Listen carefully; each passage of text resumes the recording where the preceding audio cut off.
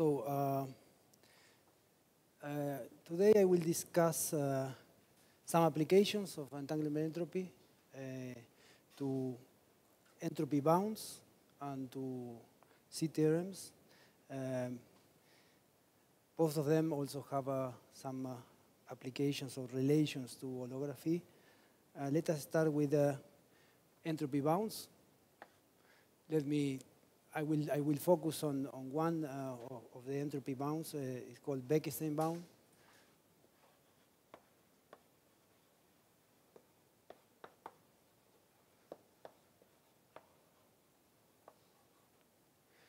It was proposed by Bekenstein in 1981 using, it's a, it's a bound of, on entropy that is supposed to hold for all uh, matter that comes from the physics of black holes. So the idea, his idea was to do this uh, thought experiment. You have a large black hole, and you have a, a, small piece of matter outside at some distance r. Uh, it's held fixed there, and then uh, you release this, uh, this object, and it falls to the, black through the black hole. So at the end, it disappears behind the horizon. And then you apply the second law, the generalized second law, and uh, do the balance of uh, entropies. Suppose this object has some entropy S. So in the first situation, you have uh, the entropy is S plus the entropy of black hole. And then uh, after it, is, uh, it crosses the horizon, the entropy is just the entropy of the black hole with a big with a bigger area. And according to the second law, uh, you, you would have that this entropy should be smaller than this one. So uh, you have that S have to be less or equal that SBH prime minus SBH, which is equal to uh, delta area over 4G, according to the entropy of the black hole. But then you can, this is a small proof, so you can uh, actually compute in general how, uh, how the area changes. Uh, this is given by the first law of black hole thermodynamics. Small changes in the area, in the entropy of black hole, are given by uh, things related to the en energy. So the energy will source uh, the gravity, and then the gravi gravity will change the area. So you can compute this. In general, this thing will be 2 pi the energy the energy of this thing in, in the in the rest frame uh, times the uh, uh, radius r, the distance to the horizon. So what you get is a universal bound of entropy given by S less equal than 2 pi energy times R. And this was the Bekenstein bound. Uh, it has a very nice feature, this bound, that it doesn't depend on the, on the Newton constant. Even if you start with something black holes, it doesn't depend on Newton constant. So uh, that's interesting because it's, it's, supposed to hold even for matter, normal matter without, where gravity is weak. Uh, and it's something coming from the black hole physics. Uh, so the, the question, immediately people started uh, looking at this and uh, uh, they found some problems. Um, some people argue that the, the, the, bound cannot be derived like this because of the Hawking radiation, etc. But, but apart from that, apart from uh, if, uh, if it's possible to derive the bound or not in a real thought experiment, uh, one can wonder if this quantity thing is obeyed by normal matter. And you can see that uh, uh, for, um, for cases uh, like thermal uh, states or, or, something like that, this will be obeyed. But uh, when the energy is low or uh, the size is small, some conceptual issues arise because because uh, the first thing that you, you can, the first problem that you can point out is uh, what is the meaning of R. So what is R there? Because if you want to prove uh, a bound like this, uh, uh, then the energy and entropy of something are global quantities, but you are putting some size here, some size uh, where it's supposed that your matter is, is uh, inside this size. So if you have a size, then you have to put a boundary condition perhaps or something like that, and then it depends on what you put. Uh, then it's a, it's a question of the energy. Uh, it also has the Casimir energy. So it's, it's undefined in this sense. Uh, the second question um, that comes is, uh, uh, suppose you, you define it uh, localized in some way with some R, then it's ambiguous because of the boundary condition. If, if you don't put boundary conditions, then you can uh, compute the entropy, for example, by tracing out what is outside, and but then the entropy uh, localized is divergent. because of uh, entanglement in the vacuum state, because of vacuum fluctuations. So uh, if entropy is divergent, this inequality cannot, be cannot hold anymore. The third problem is, is uh, I think uh, people thought is, was the, the most uh, difficult to solve, is, the, is the, the one called species problem.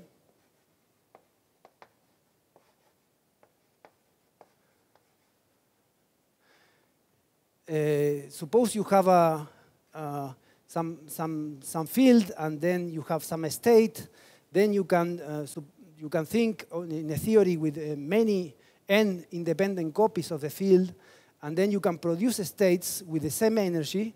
The energy doesn't change, but the entropy will grow logarithmically with n because uh, the phase space available is bigger. So you can devise that in such a way that this increases with n without bound, and this is constant. So it, it will always, uh, at some large end, uh, violate the bound. And uh, another problem is that if you are thinking something localized, energy is not always positive in a localized region. Uh, in quantum field theory, energy can be negative. But on the other hand, entropy is always positive.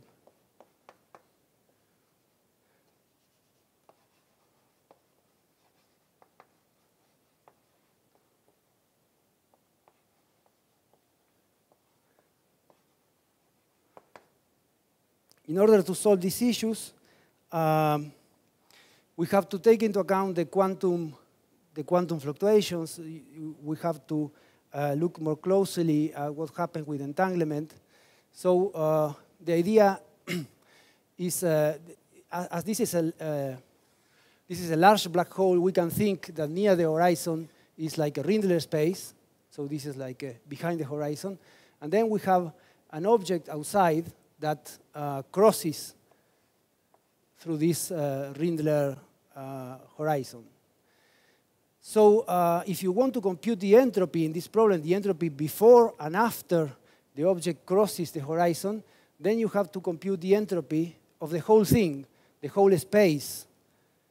So there is an entanglement entropy uh, of the vacuum fluctuations that will contribute both before and after the, the object crosses. If the object is quite classical, let's say uh, uh, very far from the boundary, then it will, it will not matter because this contribution will cancel, but in general, it will uh, mix with the entropy of the object.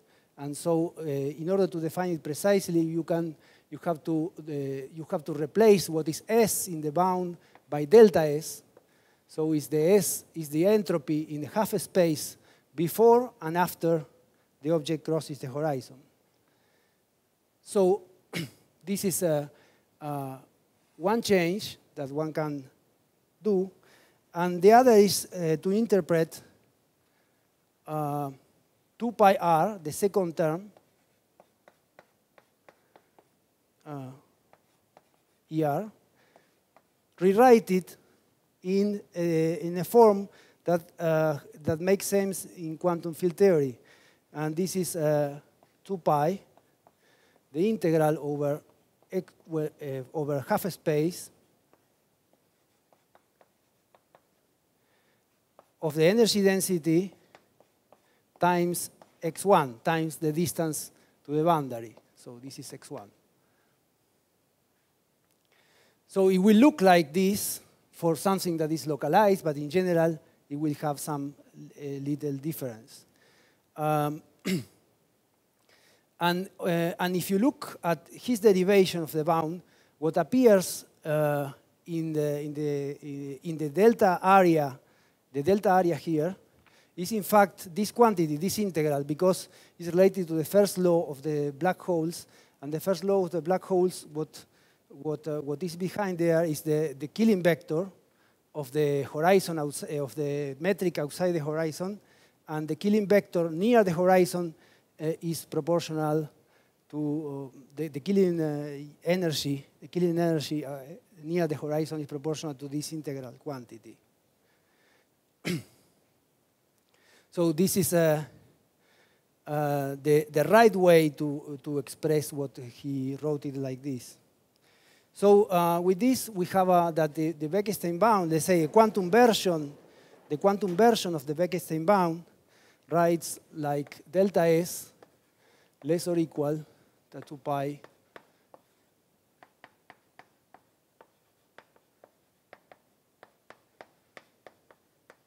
So, and this make, makes perfect sense in quantum field theory, both sides. Uh, and let us review the problems that uh, we originally have. What is R? Then here we don't have any more any R. So there is no boundary conditions here.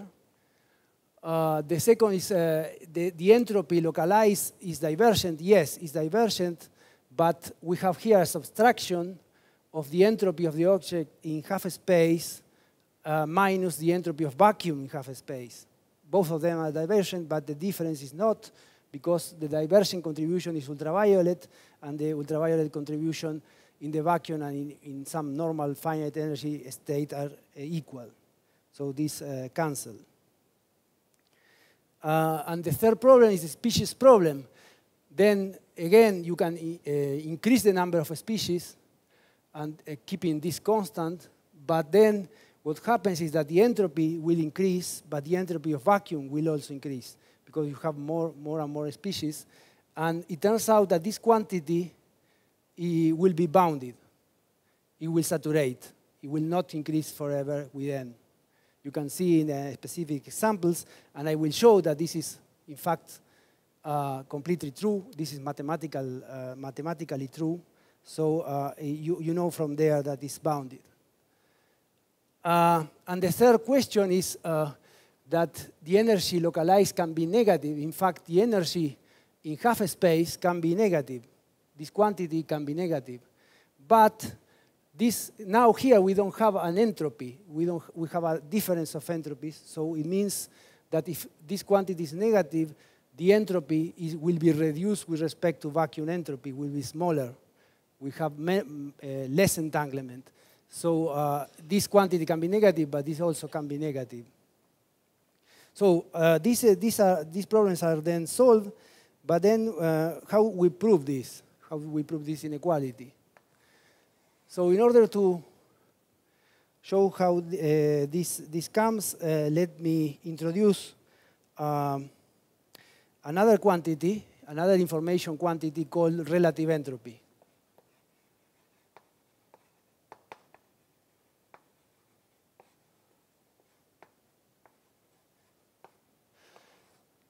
Relative entropy uh, needs two states. Other, the entanglement entropy only needs one state. Here we need two states, and this, uh, let us call them rho and rho zero. And this is defined by trace, or rho log rho, minus trace rho log rho zero.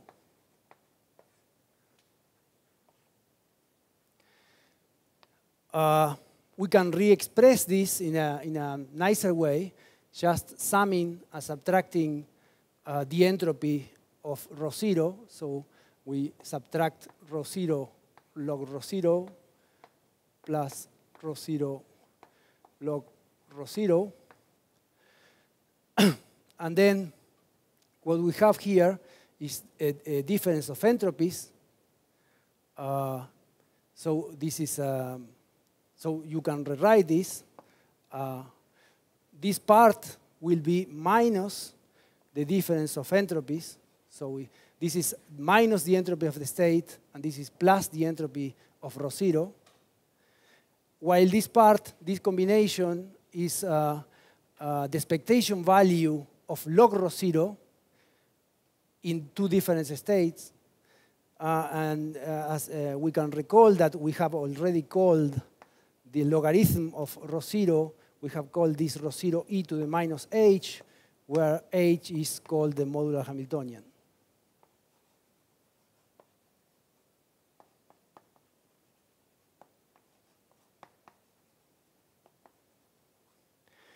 So with that, you can rewrite this as delta expectation value of the modular Hamiltonian minus the difference of entropies.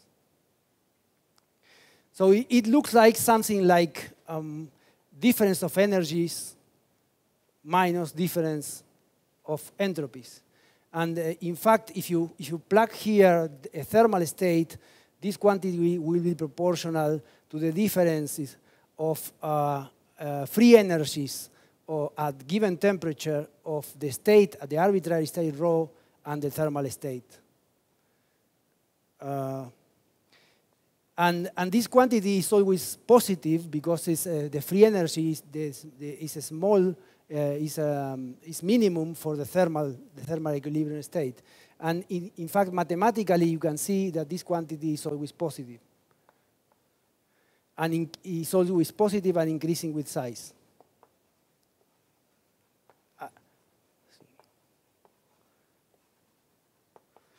When I say increasing with size, increasing with size of the Hilbert space where you are comparing these two states.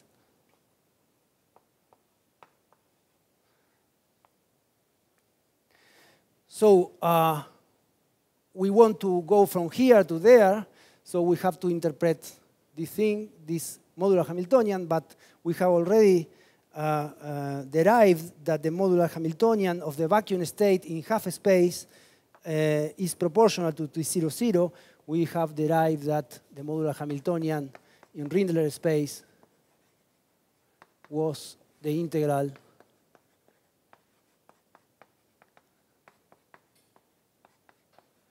this integral here. So plugging this information here, it tells exactly, it gives exactly this part here. Uh, and this is minus the, the, the, the, difference of entropies gives exactly the Bekenstein bound.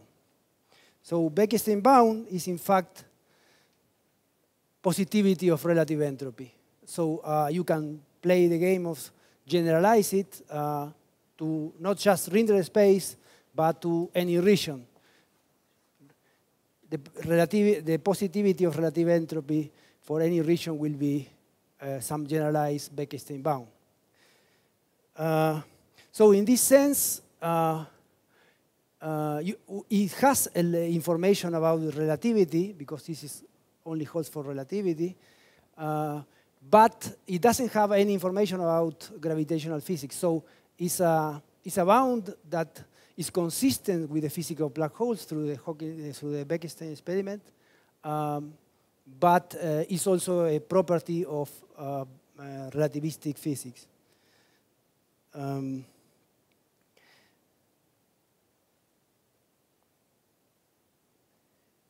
um, okay.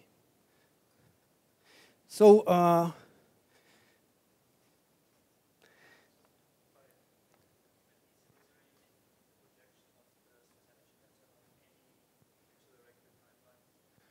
This is, yeah, in fact, this is, this is, a, this is Rindler space. So I'm, I'm computing this quantity, uh, integrating the uh, current corresponding to boost operator in, some, in this surface, but I can do it in any surface, and it's, it's the same. Right? So it's a, it's a boost energy in half space, let's say.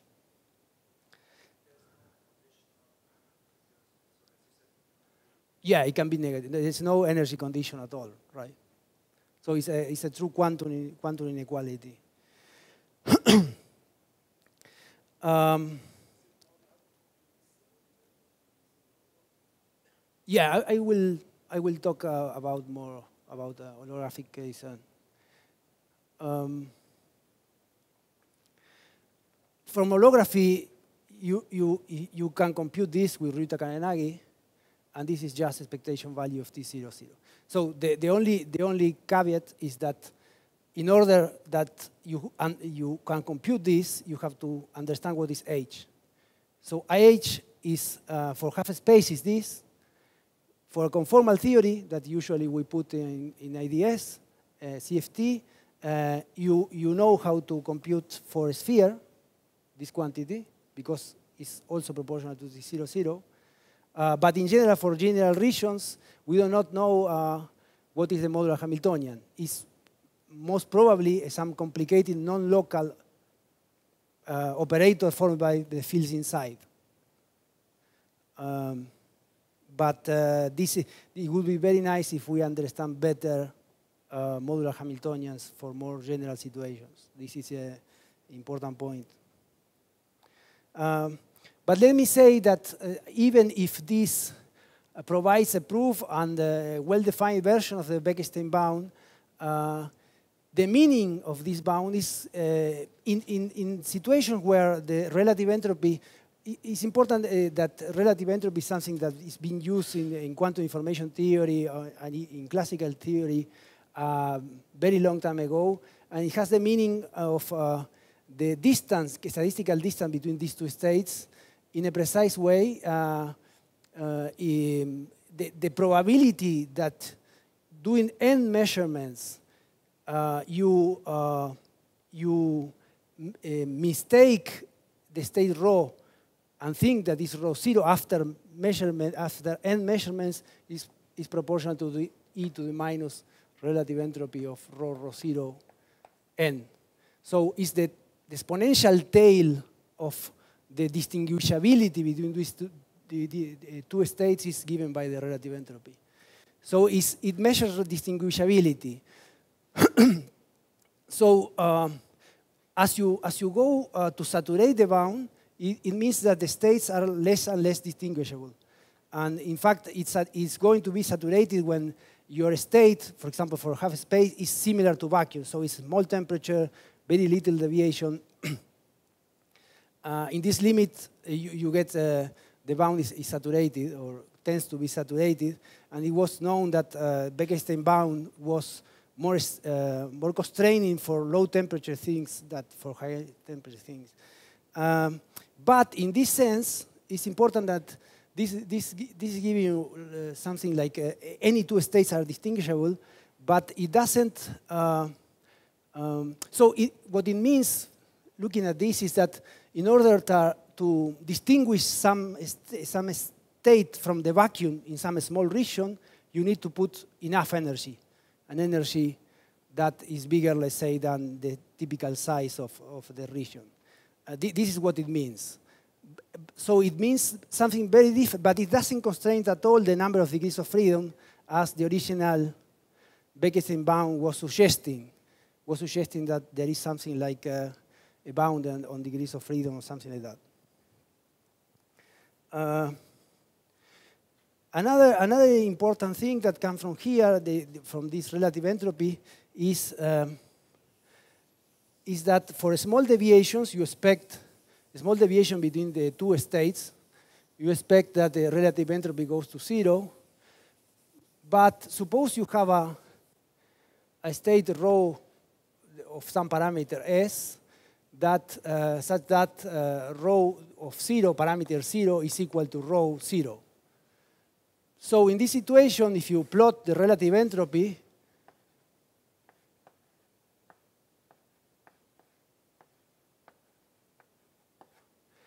uh, as a function of the parameter s, you will have some positive number. It will be zero at when s equal to zero because the two states are equal. And then uh, when s turns to negative, it will also be positive. So it will be something like this. So it means that uh, when the two states are equal, uh, is zero, but the first order deviation with respect to this small parameter uh, will, be, will also be zero because it's second derivative here. So it means that for, uh, for small deviations,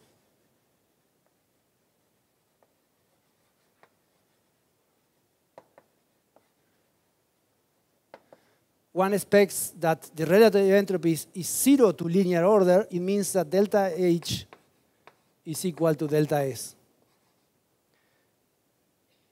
Uh, and this is interesting because it tells you how to compute deviations. So this is similar to, to the thermodynamic relation uh, the, the, ds equal to d over t. It's, it's exactly the same uh, type of idea. So, but it tells you how the entropy changes, the, the entanglement entropy changes uh, when you change a state infinitesimally if you understand what is H. Uh, so it, it gives you another way to compute entanglement entropy uh, for small deviations. So it gives you like a perturbative formula for computing entanglement entropy to linear order. Um, well, and uh, one, one, can, uh, one can use this, for example, also in a, in a conformal field theory, where h is 2 pi. Uh,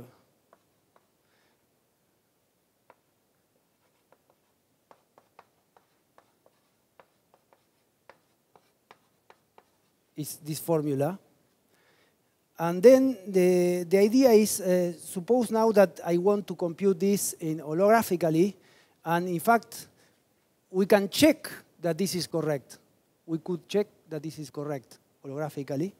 Uh, because in principle, you have a, conformal theory, you can compute the stress tensor, and then you uh, can compute uh, the variation of entanglement entropy given by this perturbation of the boundary and uh, obtain the, the Ryu-Takayanagi surfaces to linear order and compute the variation of entropy, and you expect that you have, you should have a, oh, I have to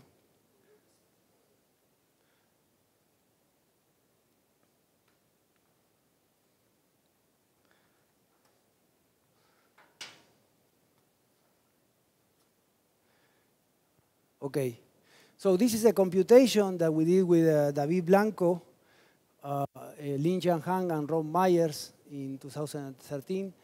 Uh, so uh, we want to check the, the, the equality for linear order deviations, and we want to check also the inequality for deviations that are stronger than linear order holographically. So uh, we are restricted to consider only entanglement entropies for spheres, because this is the only case we know how the uh, modular Hamiltonian writes, that is this expression here that depends on the energy density in the boundary theory. And then uh, we are uh, doing this for small, uh, small uh, perturbations of the stress tensor, so very near zero, this, this quantity. And then it means that in the metric is a, is a, is a small deviation from uh, the ADS space. So we can write the, the, the Fefferman-Graham type expansion, the metric with some small deviations from the flat metric. Uh, and then uh, you can expand the, um, this perturbation of the metric in powers of the uh, coordinate uh, of the bulk coordinate set here with some coefficients. Uh, so it's important that here I'm thinking in perturbing the boundary with some small quantity uh, of, of, of, energy density, but uh, with arbitrary dependence on the coordinates. Uh, so using the Einstein equation, one can compute what are these uh, uh, coefficients here and are Laplacians of the first one, that is exactly this T00 here, that is, an, is the stress tensor of the boundary theory. So uh, then you perturb the metric of, uh, this is the solution for ADS, for a sphere in the boundary, the, uh, the solution for the Ryu-Takayanagi surface is a kind of a sphere. Uh, and then you perturb the, the metric and you obtain this, uh, this, uh, um, this equation here. Um,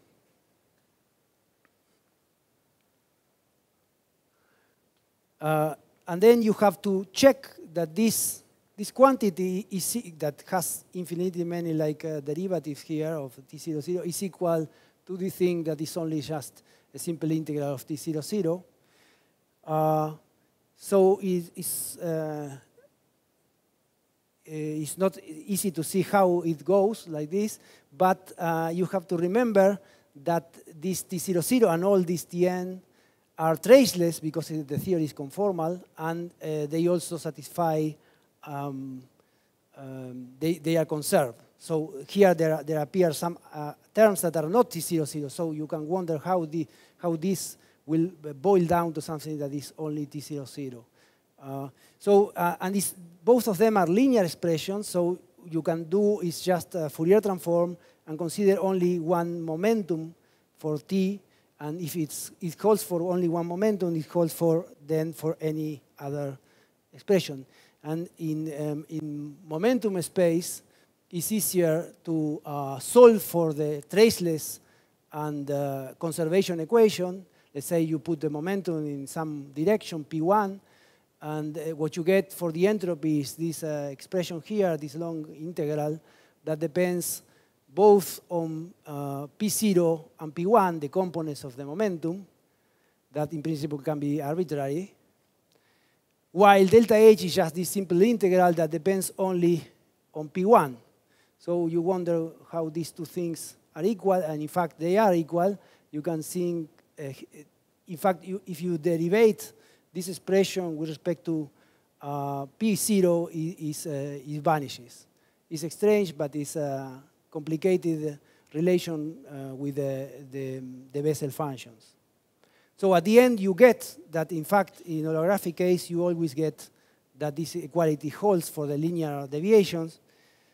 Uh, what was not that clear is what was behind this equality in more simple terms, let's say, because we obtain it by, by a technical trick there. And then uh, you can also play the game of uh, turning on uh, other fields, not just the momentum tensor, the tensor in the boundary. Uh, and then this will uh, modify the metric through back reaction. And the modification will be something like this with some other fractional powers of, of Z.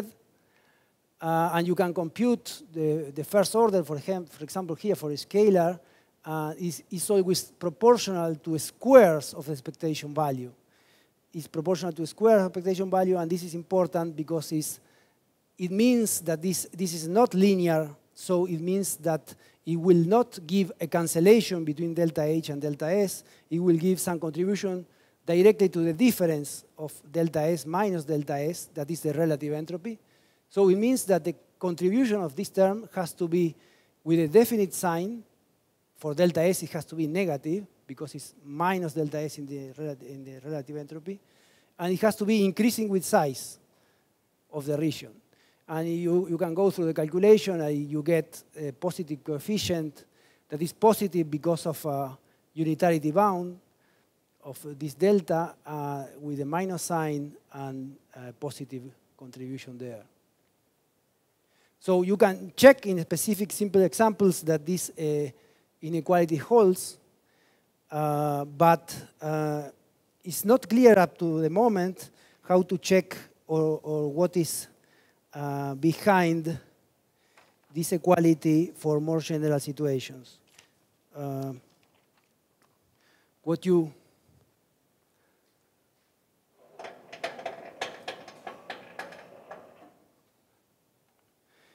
what uh, this positivity of relative entropy is telling uh, in this simple case of the sphere, because it's the only one that we have uh, some access to something understandable, is uh, that if you have a sphere in the boundary and you draw the vacuum solution, the ADS solution that is a, this kind of a sphere in ADS, and then you compare with uh, the same region, but with some other state, arbitrary state. So the, this is the form. then you would you should get that 2 pi integral of t0 0 r square minus r square over 2r is greater than this uh, delta s. So you can write it as s minus s0. S0 is this entropy, is this area here, and this is s. So this is like a geometric inequality that should hold uh, that should hold from gravity itself. Um, and uh, you, you can say, well, this is constant. This doesn't move. But When I move the state, this moves. So what it's telling me is some inequality between the area of this surface, uh, this minimal surface, and the energy density that I put in the boundary. Uh, it's not known how to prove it, but people think it's related to the proofs of uh, positivity of, of energy in ADS. This is because suppose, suppose th uh, that uh, I, I want to put some deformation here of the metric in such a way to change the area. Uh, if I can do it without touching the boundary, then uh, I, I could break this, this inequality. But it happens that you cannot do that because uh, some perturbation will, will, uh, will have some energy here. So uh, this perturbation necessarily goes to the boundary and then is related to, um, to the fact that, uh, that uh, this quantity has to be turning on. So it should be the same type of ideas that are used to prove positivity of energy uh, in, this, uh, in this space. Well, uh, then let, let me um, show what other people have done up, uh, from here. Um,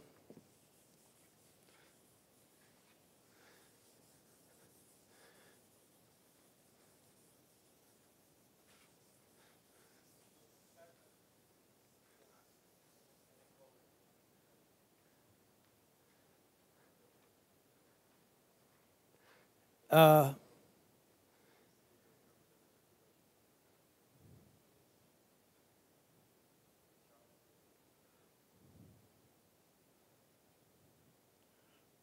um,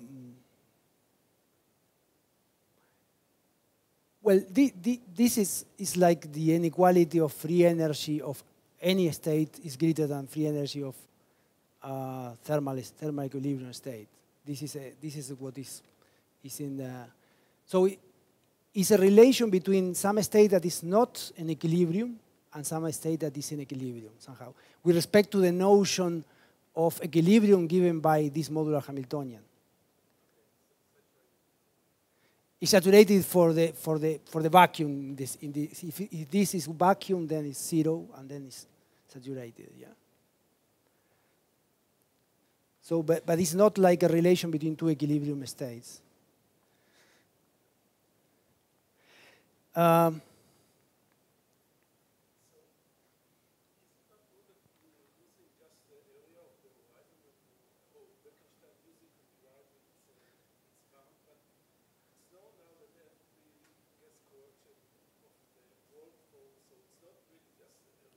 Sure.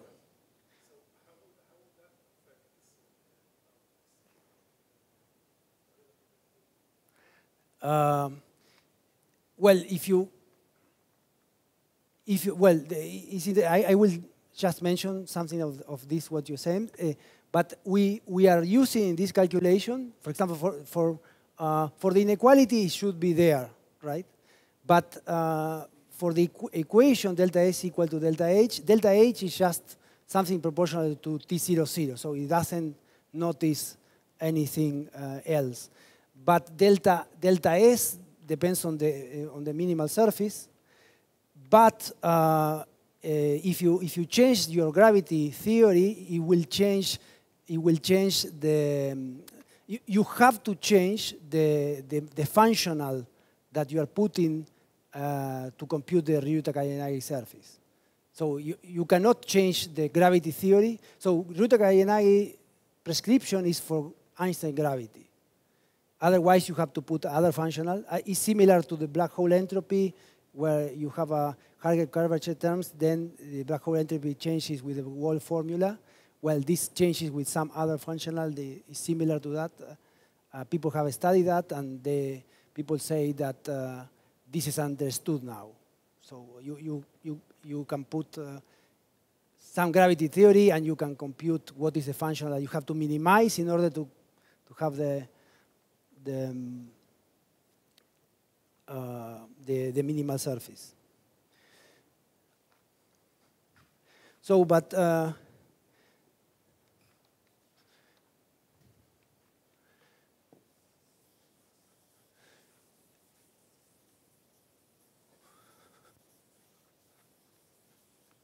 This is a, a work by Lashkari.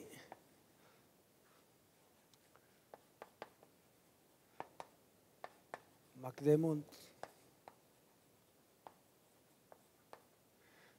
Van Raamsdonk.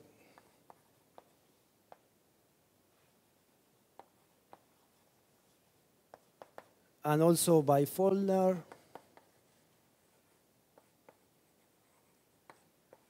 Weiss. Guica, Hartman, Myers, and Van Raamsdonk. Um, what they what they do is, is to simplify uh, or to understand better where this uh, this equality, what is the origin, technical origin that, that is pretty technical there to understand it better. Uh, in fact, uh, um, using again something similar to the first law of black hole mechanics, that it was the original motivation of, of Bekenstein uh, bound. So um, the idea is that this is the, uh, the ADS boundary, and then you have uh, this minimal surface, and then the, the idea is that this H there is a generator of symmetries of the theory, is the, um, there is a, um, a conformal killing vector there, and uh, this is the this is the, uh, the generator, and this can be um, can be extended to the bulk to a, a, generator of symmetries of the ADS geometry that leaves this uh, surface constant. So it uh, the the full thing looks like you have uh, two boundaries here of this region one is uh, the, the Ryu-Takayanagi surface that looks like the horizon of the black hole, and this other surface looks like the boundary at infinity. So this is a, the, the idea. So, and then if you put some energy at infinity, you, you change the energy at infinity, it will change, uh, um, it will change the area of the thing, and this relation is the same as in the black hole, um, in the black hole case. So um, what they, they, they, they use uh, old formulas by Wald in this case, Wald proving the, the first law of black hole mechanics. Uh, so they, they found a d minus 1 form, x, that if you integrate it over this uh, let's call it B, the region of the boundary, and let's call sigma to the, the minimal surface. If you integrate over B, uh, this quantity is, is going to be delta H, and if you integrate over sigma, this quantity is going to be delta S, the variation of the area. And it has the property that the differential of, of, uh, of this form is equal to minus 2. This is the killing vector of the geometry. It's important that you have a symmetry, so you are here using this, the fact that this is a sphere in ADS uh, times the variation of the Einstein equations and this is the volume form. So the fact that these two things are equal is because this Einstein equation holds, so this is zero. So you integrate uh, this differential x uh, in, in, the whole volume, it uh, um, is, uh, is zero, so it gives you that these two integrals on the boundary are equal. Uh, so this like simplifies or uh, has an understanding of this equality, holographic equality, but it's also very interesting because it, it allows you to, um, to invert the logic of our calculation.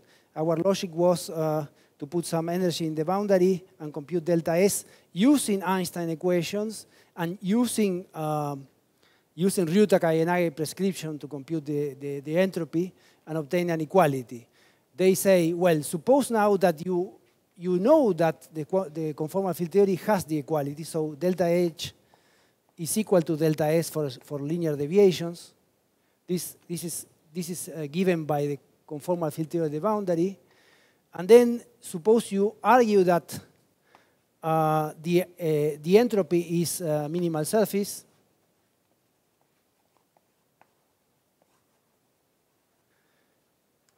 Then from these two things, you can deduce actually that the, the metric inside has to obey Einstein equations. So, sorry?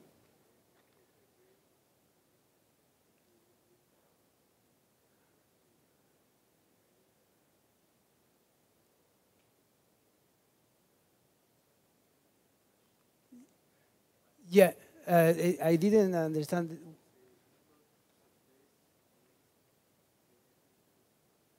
It equilibrates.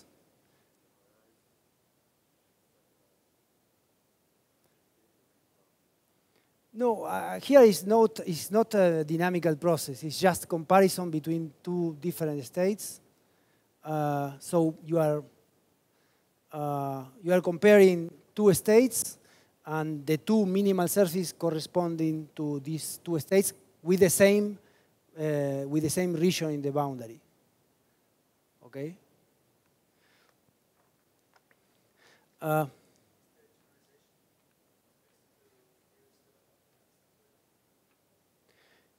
yeah, well, well, they, they, they actually use this, this same idea to, uh, um, to obtain uh, um, more, yeah, if you, if you start from here and you put surface here, you obtain Einstein gravity. If you put something more here, then you obtain other theory of gravity, other Lagrangians, right? This is it.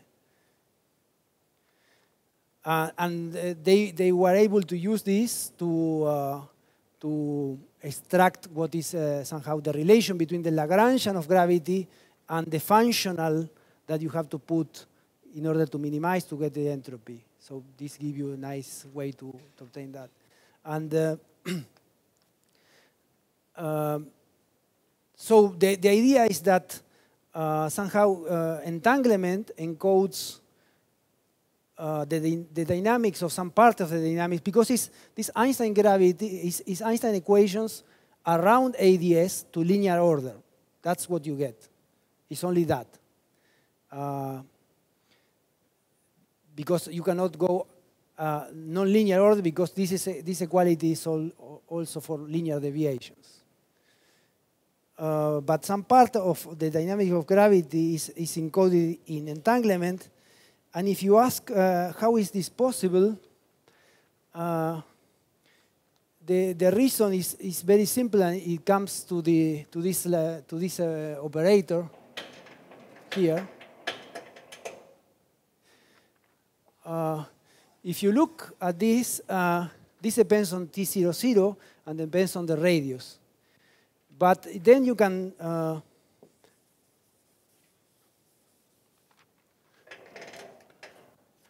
you can think in uh, in uh, let us think in now in the in the flat space where you have to you want to compute this for different spheres. So you can compute this quantity for this sphere it's just integrating the energy density. But you can also compute it for small spheres. And if you compute it for very small spheres, you, you, will, you are, are going to be able to extract what is T00 of x.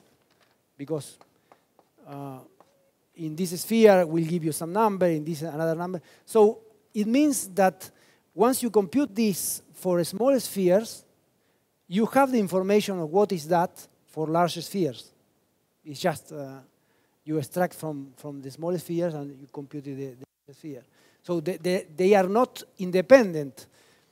And this quantity is delta S for small deviations. So the variations of entanglement for small sizes and uh, with respect to vacuum, large sizes uh, are not independent.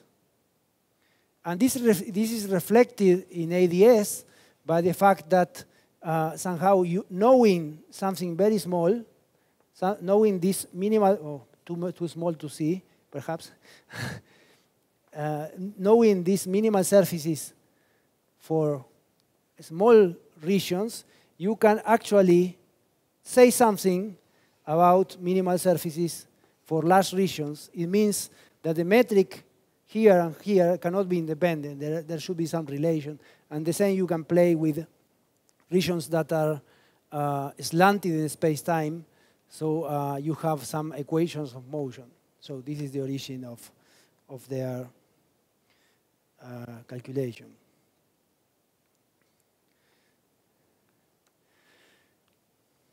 Okay. Well, this is uh, all I wanted to say about this. Uh, this is called the first law of entanglement entropy. The, uh, and then I will move to, to uh, C theorems.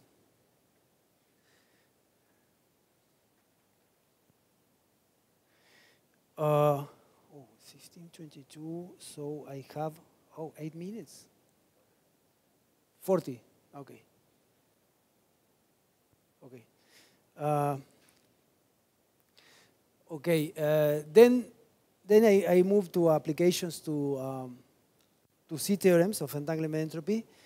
So uh, here is the, some picture of a renormalization group flow. So it's a the space of couplings in some quantum field theory. And uh, we know that the, there is a flow given by the uh, renormalization group. And uh, the idea is to, to, you start, for example, from some uh, ultraviolet fixed point, and then you end up with some infrared fixed point. And then uh, the question is whether there are some constraints that allow you to say that, for example, some fixed point can be connected to others and some others are not connected. Uh, so general constraints on uh, renormalization group flows. And these, uh, these, are, these general constraints are called C theorems in general. Uh, then they have different names in different dimensions also, but, um, but they, they state that uh, there is an ordering of the fixed points, at least a partial ordering, um, uh, so what, what is needed to prove something like a theorem? One needs uh, some quantity that is well defined in the, in, the, in the continuum limit, some quantity that belongs to the quantum field theory, uh, that is dimensionless. So it's dimensionless, it means that in the fixed point, it has to be something that is some number. So it's something that belongs to the theory and not to some arbitrary scale that you put there. So it, it measures something, some number that characterizes the fixed point. And then you require that it decreases along the normalization group flow. In particular, uh, what is more important is that the, uh, the ultraviolet should be greater than the, uh, the infrared, or otherwise, but you can change sign, right? Uh, uh so uh, you, instead of thinking in the running along the normalization group of this quantity, you can uh, equally think of it as, as uh, some dependence on some scale of the theory, some, for example, some size. Uh, and say, then for a small size is going to be something that belongs to the ultraviolet, and for large size, something belongs to the infrared. And you can connect that using uh, this uh, normalization group uh, idea. So it's because of, of scale dependence. So uh, the first uh, of this type of uh, C theorems was proposed, was shown by Zamolodchikov in, in 86 uh, about one plus one dimensional theories. The idea of the C quantity at the fixed points is given by this number that is, can be computed from correlators of a stress tensor. It's just proportional to the Virasoro central charge of the conformal theory. And what he's shown is, is using that uh, the uh, conservation of the stress tensor and Lorentz symmetry that uh, he, he, could compute an interpolating function uh, that is given by this function here. It's, a, it's some integral of correlators of the trace of the stress tensor. Uh, so this function for r going to infinity is going to be c infrared. And uh, he, he showed that the integral from 0 to infinity plus C infrared is giving you uh, the, the C of the ultraviolet theory. So this is like a sum rule. Uh, and the fact that this uh, correlator is always positive because of a reflection positivity uh, tells you that the C ultraviolet has to be greater than the C infrared because this quantity is positive. So this is, a, well, this is uh, all transparency, so I have already talked about this. Uh, so, uh, but I will need um, some properties that I didn't mention uh, in my talks of uh, um, entanglement entropy is that the entanglement entropy does not depend, does depend on the boundary of the region, but does, does not depend on the Cauchy surface that you draw here. So you, we usually say this entanglement entropy of this region of the space, some, some spatial surface there. But if you change the spatial surface, keeping the domain of dependence invariant, the entropy does not change.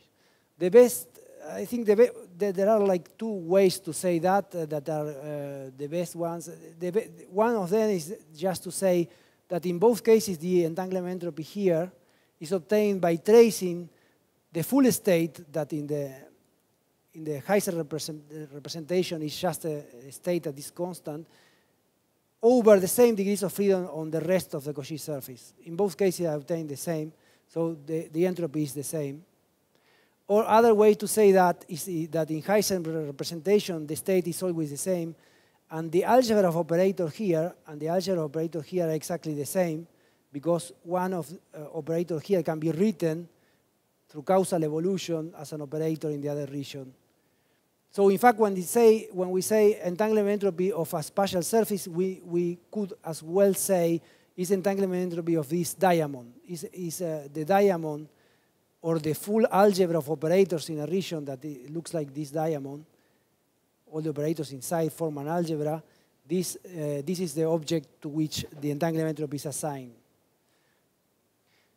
And the same, uh, another question is a strong subadditivity. Once we have a Lorentzian like, uh, like uh, this thing, we are thinking in putting some uh, spatial surfaces but uh, slanted in space-time we have to understand what is, what is the meaning of a strong subadditivity. And the meaning is just that you can diagonalize, let's say you, you can just uh, put uh, this A, B, A intersection A, B, uh, union B as uh, independent Hilbert spaces. So you have to take pieces of, Cauchy, of a Cauchy surface. So they have to leave all these regions in, a in the same uh, Cauchy surface. This is the only requirement. You cannot put a and B space-time separated, for example. Then you will not have a, a right inequality. And then I will also use uh, Lorentz invariance of vacuum state. Um, so this is a, a proof of uh, a C theorem that is exactly the same as in, it tells exactly, or uh, for the fixed points, it tells the same as the Zamolodchikov theorem. But using entanglement entropy in one plus one dimension, uh, we did it with Marina Huerta. Uh, the idea is then uh, to take this Cauchy surface. Let me focus first on this x, y, z surface that is slanted in space-time. This is a null direction. This is a null direction.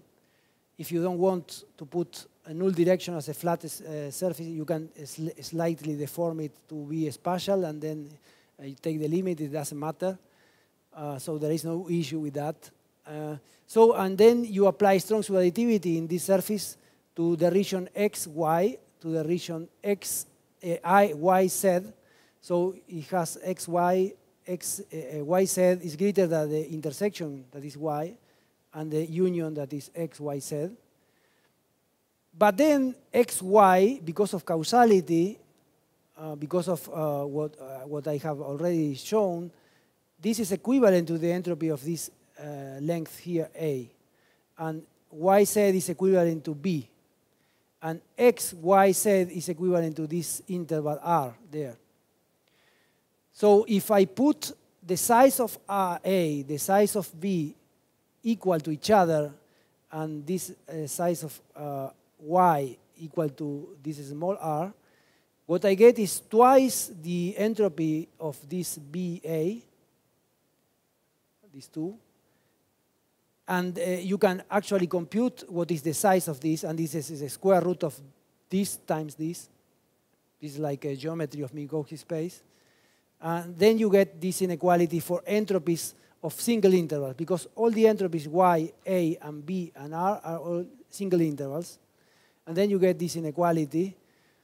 And you can think of uh, doing a, um, a perturbative uh, thing. You, you, can, you can put small and large r uh, similar to each other, and from here you get a differential inequality that is this one.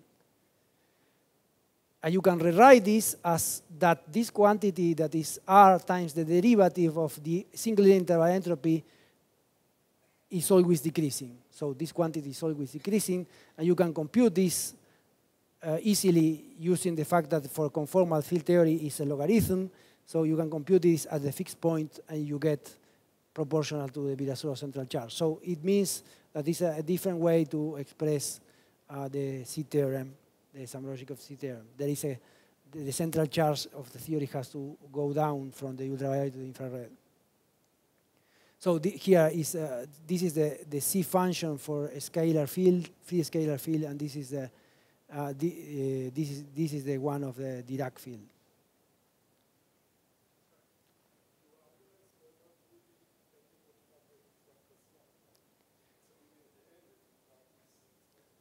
Uh, I will show what happens in high dimension and it's more subtle. Yeah.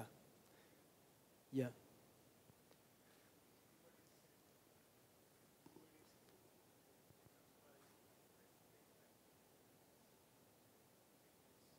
With, uh, for a space-like intervals, what you get is S second derivative negative, and, uh, and that, that was used, in fact, it's interesting that uh, strong superadditivity was first uh, conjectured as a property using, doing, uh, for people, Ruelle and, uh, and other guys were doing something very similar but only spatial.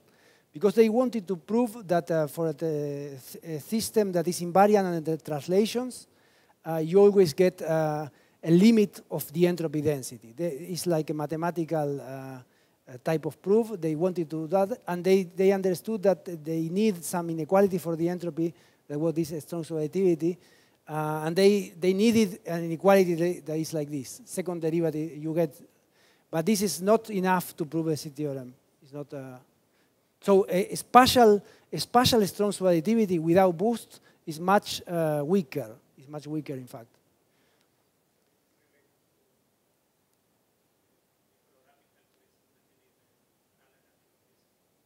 Exactly. In the holographic calculation, to prove a strong superadditivity, you need a null energy condition. While I, for a spatial, let's say, a strong superadditivity, you can put any uh, Riemann geometry and it will hold. Yeah.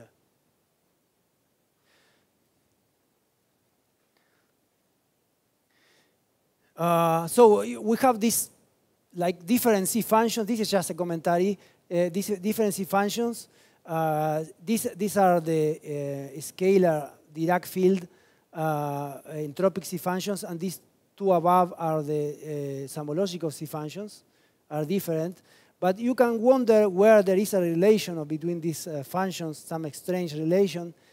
But uh, then you, there is this proposal by Cappelli, Friedan, and Latorre. They, they rederive the, the C theorem using a spectral um, uh, spectral function of the correlator of the stress tensor traces.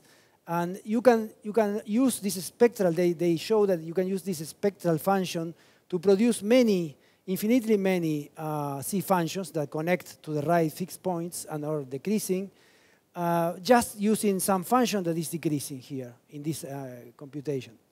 And these have, uh, let's say, um, different kind of information about the, uh, the spectral density, but always uses just the fact that, the, uh, that this quantity is positive, so reflection positivity of the two-point function of the stress tensor. But if you do that, you, you can see that in, in two dimensions, the scale, the free scalar, the, the spectral density of the free scalar and the free Dirac field satisfy this relation. Don't ask me why. They satisfy this relation. And then if you plug it in this, uh, in this formulation, you get that all these, um, all these possible uh, C functions that you can produce with the spectral density of, T, of the traces uh, look like this. And it's always like the scalar, the scalar will be, uh, will be bigger C function than the Dirac function. While for the entropy, it's exactly the opposite case. So somehow, uh, the, the entropic uh, C function does have some information different from the stress tensor traces. So at least from the two-point function. So uh, there is not a simple connection in terms of operators. Uh, what, what happened with C theorems in more dimensions? Uh, Cardy had a proposal uh, that in, in uh, even dimensions, the, the, the C function that is appropriated should be the coefficient of the trace anomaly, the coefficient of the Euler term of the trace anomaly. And there are other polynomials, but uh, you should select this one. And this is equivalent, if you put it uh, in a sphere, this is equivalent to the, as, as I mentioned, this is equivalent to the logarithmic coefficient of the uh, partition function on, the, on a sphere. um, uh, this, this proposal was in fact proved by Komargodski and Schwimmer in, in 2011. This is called the A theorem because, because A is the, num, is the name of the coefficient in four dimensions. Uh, the, their proof uses uh, standard like uh, tools of uh, quantum field theory. Uh, what happens with odd dimensions? So because these anomalies do not exist, in, the stress anomalies do not exist in odd dimensions. So the first proposal was given by Myers and Sinha using uh, holographic C theorems. Uh, they, they just uh, do uh, uh, perturbations of ADS, putting some uh, other relevant operators, so the, the, metric changes along the direction of the bulk. Um, and then uh, they, they use higher curvature Lagrangians for gravity in order to differentiate between the different anomalies. You need to do that in order to differentiate different anomalies. Uh, and they just look at some quantity uh, that you can compute along the radial direction uh, that is positive, that is proportional to uh, the null condition.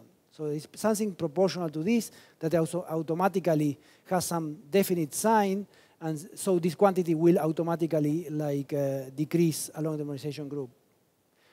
Um, and for even dimensions, what they find is that this quantity at the fixed points coincides with the Cardy proposal, with the anomaly. And for all dimensions, they have some quantity and they wanted to see what it is, and they check and try with several quantities that you can compute. At, at the end, they found that uh, what, you, what uh, this quantity was measuring exactly the constant term of the entropy of a, of a d-dimensional sphere, uh, of uh, pardon, oh, sorry, uh, of a, of a sphere in this space of odd dimensions. So the, their proposal for all dimensions is, is that uh, this is um, the, the right quantity for the C theorem would be the constant term of the entropy of a sphere, of the entanglement of a sphere. Uh, independently, uh, these people, Jafferis, Klebanov, Pufu, and Safdi, in, uh, in uh, 2011, proposed, they, they, were doing computations of, of, uh, supersymmetric theories, they were doing computation of the partition function on a, on a d-dimensional sphere of these uh, interacting complicated theories. Uh, they could do it because of uh, new uh, analytic tools they have, and then uh, they, they found that this quantity that is the, the logarithmic, the, sorry, the partition, the free energy on a d-dimensional sphere was always decreasing along the normalization group.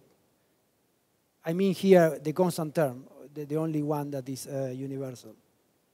So they proposed that as uh, the right quantity for a, for a C theorem.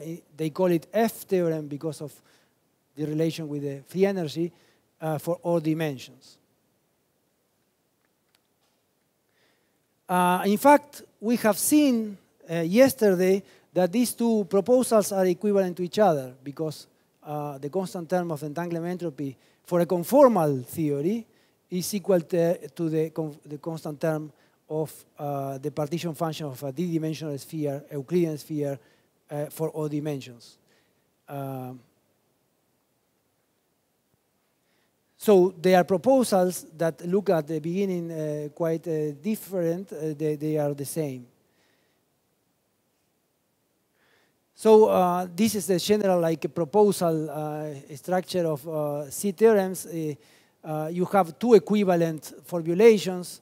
Uh, the free energy formulation is that the log coefficient of the d-dimensional sphere for even dimensions and the constant term of the d-dimensional sphere for odd dimensions is the right quantity, or the entropic formulation that the log coefficient of of the entanglement of a sphere or the constant term in all dimensions is the right quantity, depending on the parity of the dimension. And these two proposals are equivalent to each other. So uh, I must say that this logarithmic coefficient is equivalent to the, the, the trace anomaly uh, for, for even dimensions. And this is the proof that we have seen yesterday doing this mapping into um, uh, de Sitter space. And this is just, uh, uh, one can wonder why is this thing of even and odd, uh, these two different things. In fact, you can compute for free fields and, uh, and then try to do some analytic continuation along dimensions, and you get that they, they are the same quantities in even and odd dimensions. So, for example, in order to normalize uh, in different dimensions, you have to divide, for example, for the C quantity for a scalar, let's say. So uh, here uh, there is a Dirac field divided by the number of components and the C uh, of a scalar for two dimension, four, etc. For the even dimension, these are the, the ratios of anomalies, and this is the, the way it goes. So uh, in fact, uh, it, it, increases with, this, with the dimension. It's, for higher dimensions, it's bigger number for higher spins. Uh, so you can fit this result with some uh, d minus 2, it goes like d minus 2 times something that uh, goes down with uh, with the dimension. And doing uh, this for 100 dimensions, let's say you obtain, when you put d equal to 3, you obtain this number. And uh, if, you, if you compute it for the, uh, the right one, that is the constant term of the entropy in a sphere, this is, this is the number. So it's somehow the dimensional continuation of the uh, C, A, etc., of the Cardy proposal for even dimensions give you the proposal for odd dimensions. So it's like the same kind of idea, no, not a different theorem. Uh, so this is a proof uh, uh, we did with Marina of this uh, C theorem in, in, three dimensions. So the idea is to do the same as in two dimensions, but now we, we, uh, you, you have two problems. The first one is that when you do intersections and unions of two circles, you are going to end up with uh, uh, shapes that are not circles, so it, they do not have one parameter, r. They have more parameters, so uh, you don't want that. In order to uh, eliminate this problem, you can take many different circles like rotated like here, uh, and use a strong subadditivity many times, and you produce something like this. So the, the original circles that are rotated here, uh, come in one side of the inequality, and the other you have uh, all these uh, different uh, unions of intersections, and this, uh, the shape of all these sets are, are, are shown here, like little wiggled circles that in the limit, when you have infinitely many circles, this will converge to a circle of different radius. So this is the idea that in the limit, this we, we will have circles here and also circles here of different radius. But the second problem is that uh, when you do this type of thing, these wiggles have angles, these intersections have angles, and the angles have these divergences that we have seen in the first uh, lecture. Uh, so you have to kill these divergences, and uh, for that you, you can put uh, these intersections on a null cone.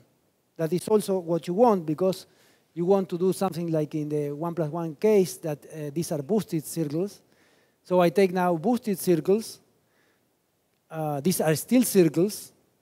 And then I rotated them and uh, do this strong subadditivity to produce on the second hand of the second, the left, right hand side of the inequality things that are look like this. And here the difference is that these angles live in a null surface, so they don't have any geometrical measure, so they are assimilated to uh, a pi angle. This is a, you can boost it, and this uh, giving you uh, no contribution. So they they do not have uh, logarithmic terms. So uh, doing this, uh, you, in taking the limit, you will have some inequality like this. And if you do again some R, uh, some deviation between these two R, so they are very similar to each other, you get uh, this inequality. Uh, so you, you get this inequality. The second derivative of the uh, entropy of a, of a, circle of radius R is negative. Oh, sorry. Uh, and then you can uh, you can use this inequality to show that this quantity r s prime minus s uh, has a negative de derivative. And for a conformal fixed point, if you compute this quantity, it's just a constant term. It eliminates, this combination eliminates the linear term, and it, it selects the constant term. So this is telling you that the constant term of the entropy of a circle decreases along the, the renormalization group or, the, or with the size of the sphere. Uh, so you, you also have, uh, from the same inequality, you can also uh, subtract now the coefficient of the linear term. So oh, forget about this, the linear term, and uh, see how it goes with the size of the sphere. And it turns out that this quantity is also always uh, uh, monotonous.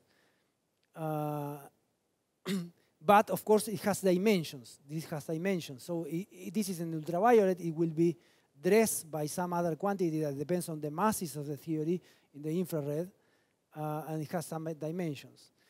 Uh, and this looks like some like uh, the the uh, renormalization of the area term. So it's like uh, the renormalization of the Newton constant. Uh, and in fact, you can see that uh, you can also obtain, using again the, the first law of entanglement entropy, you can use to uh, produce a formula for the total running of the area term, uh, is this formula here, that is, looks like very much the, the of Sun rule. The only difference is that integrated in three-dimensional space, so you get something with dimensions. And uh, uh, but the, the normal continuation, and this, this holds for any dimensions. This is how the area terms in entanglement renormalizes from the infrared to the ultraviolet. Uh, so, uh, and it's interesting that this way that the area term renormalizes is exactly what uh, um, um, Adler and Zee have, uh, uh, have uh, computed thinking in the normalization of the Newton constant. So uh, these two things match.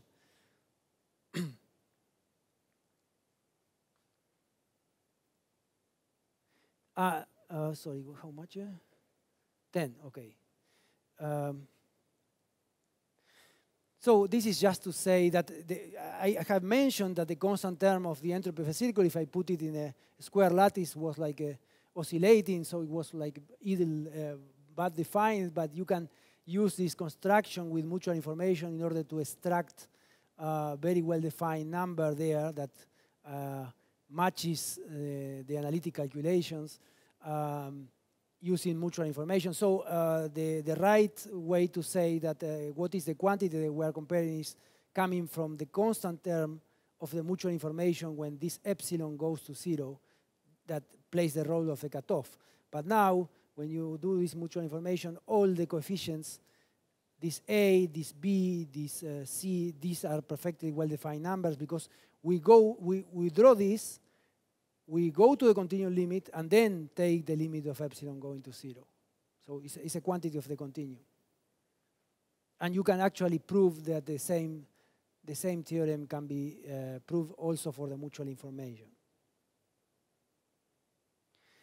Uh, a very nice, uh, an interesting uh, particularity of the C theorem, of the F theorem in three dimensions, is that it assigns uh, a non, uh, non-zero number, this F quantity, to a topological theory, to a theory that doesn't have any degrees of freedom, uh, local degrees of freedom at all. So nobody, I, I, think, understands well why, why is that, but you, you can Klebanov has checked it in many examples. and, uh, uh, the, but interestingly, uh, if you compute the mutual information in a topological theory, uh, these have no correlations, no correlation, no local, cor no correlations uh, uh, because you, you don't have local excitations. then you get zero. So the mutual information will give you zero, unless you cross with epsilon the scale of the gap of the theory, where real degrees of freedom, not topological, real degrees of freedom live. There, some area term will be generated, and with the area term, it is supposed that the topological term will also be generated. But this is, this is all right because uh, uh, the proposal is take the limit of epsilon going to zero. But it's somehow something strange in the sense of uh, that you need to put this epsilon really going to some scale that is completely unrelated to the infrared in order to get the right number. Uh, while, for example, for a scalar field, uh, for epsilon just only much smaller than radius is, all right, you get the right number. But here you, you need to go to the ultraviolet. Somehow it's telling you that this topological entropy is not really something that you can assign to the infrared, but some residuum or some uh, rest of the full renormalization group flow.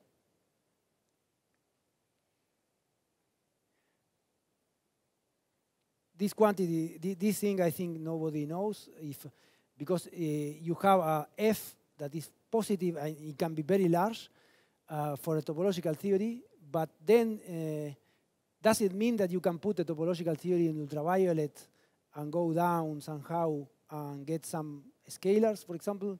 Uh, I think the answer should be no, but uh, nobody knows. Topological is like a Chern-Simons or something like that. Yeah.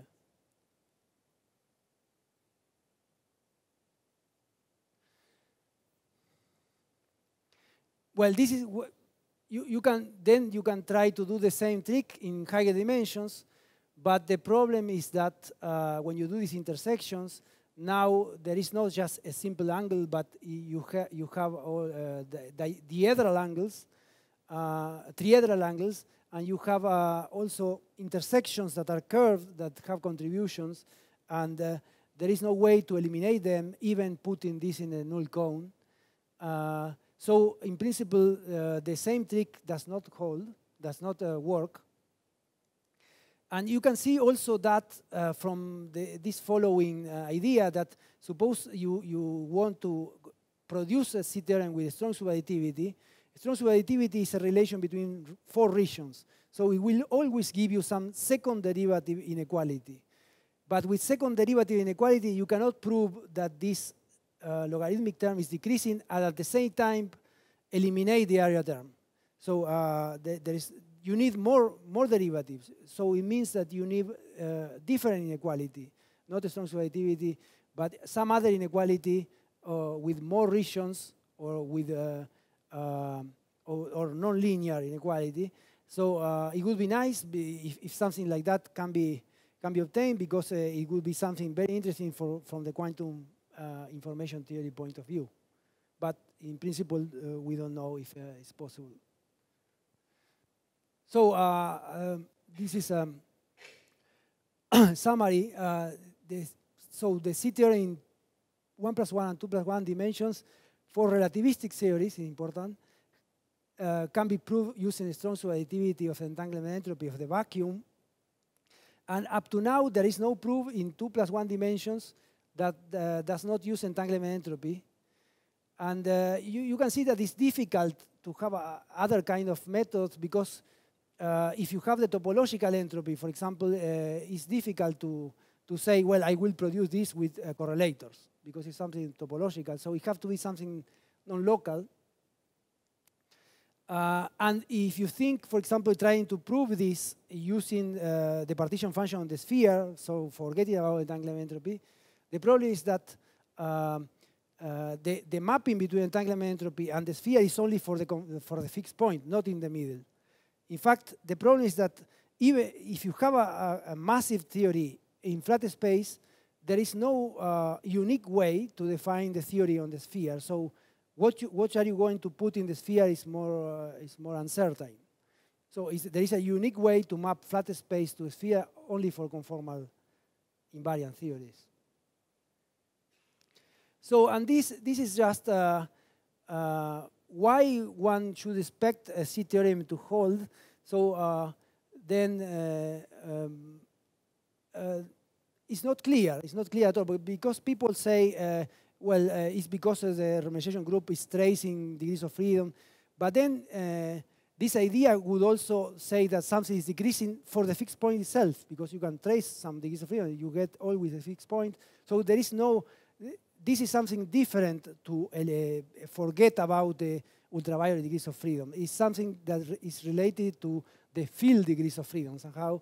And in three dimensions, it's much more, more subtle because this has these uh, topological theories that uh, uh, do not have local degrees of freedom. So it's something else that is measuring.